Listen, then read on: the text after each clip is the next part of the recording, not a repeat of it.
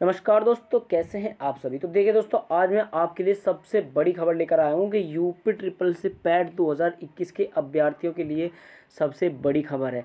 PAT certificate की मान्यता खत्म। जी हाँ दोस्तों, जैसा आपने सुना, बिल्कुल सही सुना है कि पैट की मान्यता यहाँ पर खत्म। ये आपको यहाँ पर मैं देख सकता हूँ कि ए यू फैमिली संवाद सहयोग की सर्वर से आपको दिखाया जा रहा है।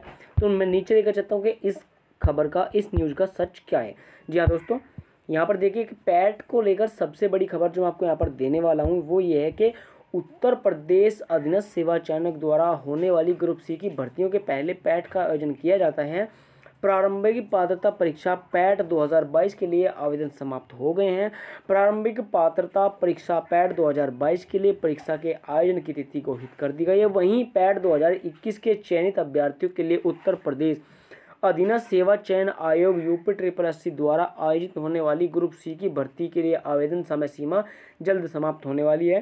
पैड 2021 पैड 2020 से जुड़ी महत्वपूर्ण सूचना मैं आपको यहाँ पर दूँगा। उसकी जो मुख्य सूचना है वो क्या है? तो मैं आपको यहाँ पर दिखाना चाहूँगा।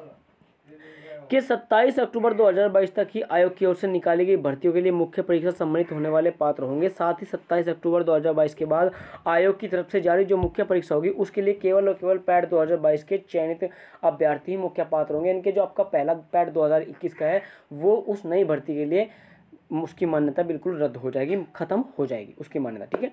अब बात करते हैं दोस्तों यहाँ पर वीडियो भर्ती के बारे में। तो वीडियो भर्ती की जो एग्ज़ाम डेट है उसके बारे में आपको बताने वाला हूँ। तो देखिए, नवंबर माह में आपकी एग्ज़ाम डेट आ जाएगी। जी हाँ दोस्तों, नवंबर माह में, नवंबर माह के प्रथम सप्ताह में आपकी एग्ज़ाम डेट आ जाएगी और अभी से आपको उसकी तैयारी पूर्ण रूप से तैयार कर देनी चाहिए, ठीक है? क्योंकि वीडियो में आप जानते हैं कि वैकेंसी तो थोड़ी कम है, लेकिन फॉर्म बहुत ज़्यादा है, ठीक है? आप लगभग आप सोचोगे कि कम से कम बीस पंद्रह लाख तो फॉर्म जो थे, जिनकी परीक्षा छूट गई थी, वो भी परीक्षा देंगे ही देंगे, ठीक है?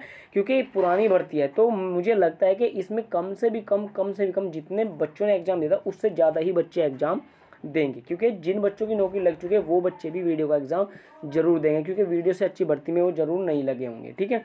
तो मैं आपको बताऊँ कि नवंबर माह के प्रथम सप्ताह में उसकी एग्ज़ाम डेट आ जाएगी। आज इन दो खबरों के साथ ही मैं अपनी वाणी को विराम देता हूँ। तो उम्मीद करता हूँ कि वीडियो आपको अच्छा लगा होगा। लाइक करें शेयर करें सब्सक्राइब करें। थैंक यू दोस्तों वेलकम